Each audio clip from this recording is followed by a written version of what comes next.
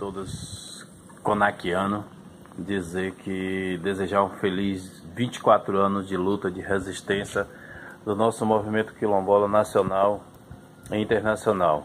De fato, a CONAC ela nos representa desde quando ela foi fundada. Um bom dia a todos. Meu nome é Fábio, conhecido como Fábio Quilombola. Sou presidente da Associação dos Remanescentes de Quilombos da comunidade Limoeiro, no município de Entre Rios.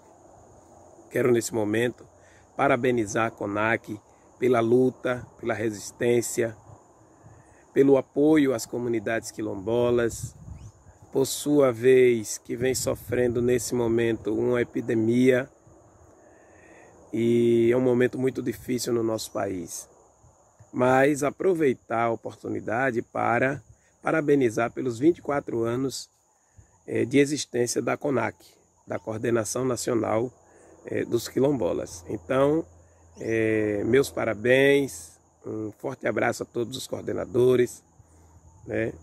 e que realmente esse movimento possa cada dia crescer, levando o conhecimento dos direitos dos cidadãos quilombolas do nosso Brasil. É muita luta, muita resistência, mas estamos juntos nessa batalha até que um dia seja reconhecidos nossos direitos de povos tradicionais. E parabéns mais uma vez.